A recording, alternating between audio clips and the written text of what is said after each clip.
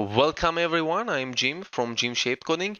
In this tutorial we are going to talk about a very important built-in function that is going to help you a lot. So what if I told you that with only one line of code you could generate a list of all integers from 0 to 100? Well, we already know that with Python anything is possible and this is why we are about to learn about the range built-in function. This is one of the more powerful tools you must use in Python. Let me paste the explanation about it. By the time, I just want to say that what this does, it generates a list of numbers by the information you passed into it. So for example, you can call the function and pass the number of 5 to it and what this will do for you, it will generate you a list of all the integers from 0 to 5. So let's see how this is really works.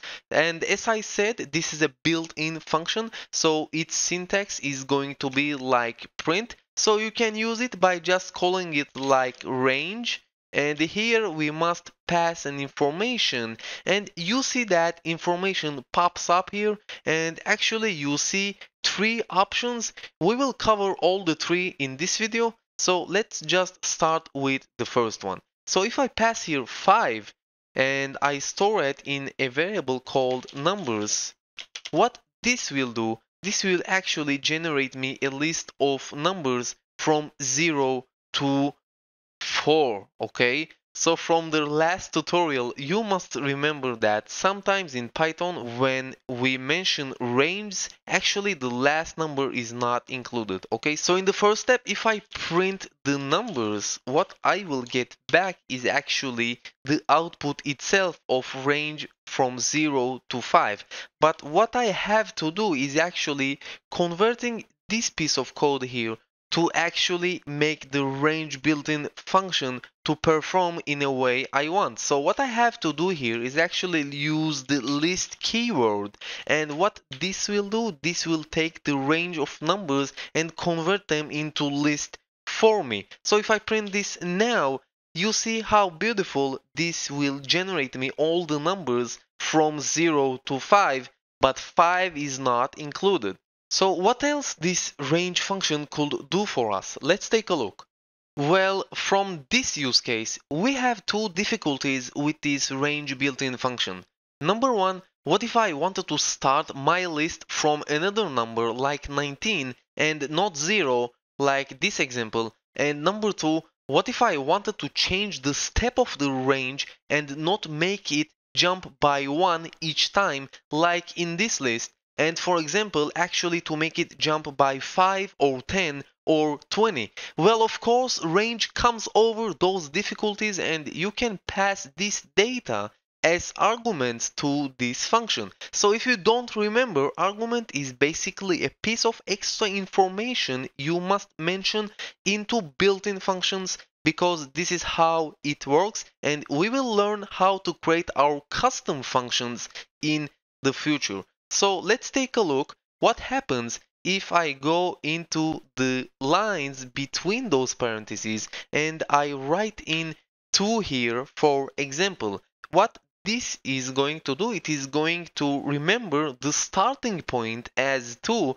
and the end point as 5. So if I run this, for example, we will get 2, 3 and 4 back. And what if I, for example, want to get all numbers from 10 to 20? What will I do is change this to 10 and this will be 21 because last number is not included and if I run this I will get all the integers from 10 to 20 and here comes the second difficulty we talked about and what can I do is also going here to the last argument place and I can add another comma here and I can pass here the step of the range built-in function. So you see already what popped up in the PyCharm.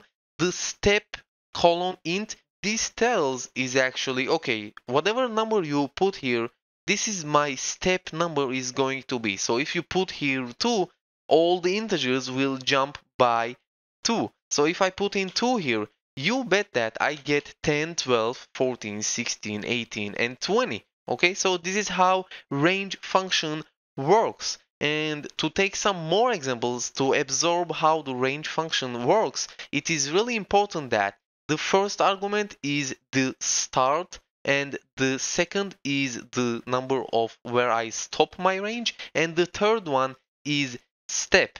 And if by any chance you forgot the order of what numbers you have to pass where, what you can do is a really nice trick that I also use when I do actually code some programs myself is actually hovering your mouse onto the built-in function and just mark it and there you go. You will get a pop-up where Python is going to explain you actually what range function is doing. So you can see here PyCharm explains you very well what this function is about and also as you see you have here the start the stop and the step. Alright so this is a perfect way as a reminder of what arguments all the built-in functions are accepting alright? So this is a really nice trick that I personally use and I recommend it. Of course there are more ways to gather information about some built-in function and there is no one way to know about some function or some code you don't understand. So this was about the range built-in function. I recommend to take the exercises on my website and don't forget to crack the subscribe button if you liked this video and I will see you in the next one.